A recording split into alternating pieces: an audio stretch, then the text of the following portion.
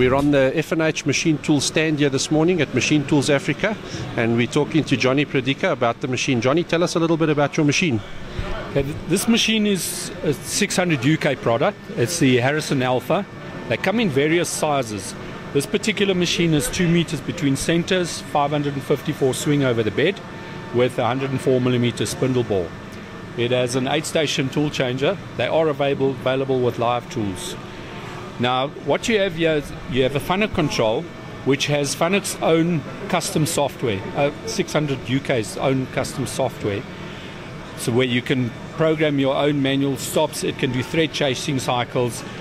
You also get a CAD CAM system combined with the machine, all included with the package. Then you have the Manual Guide i system, which is a user friendly pro- programming method where you simply draw up your component on the screen do your solid machining simulation, and then you can actually run your part off that. Excellent. So it looks like a fantastic machine. I hope you guys sell a couple on the stand here today. Thanks. Thanks.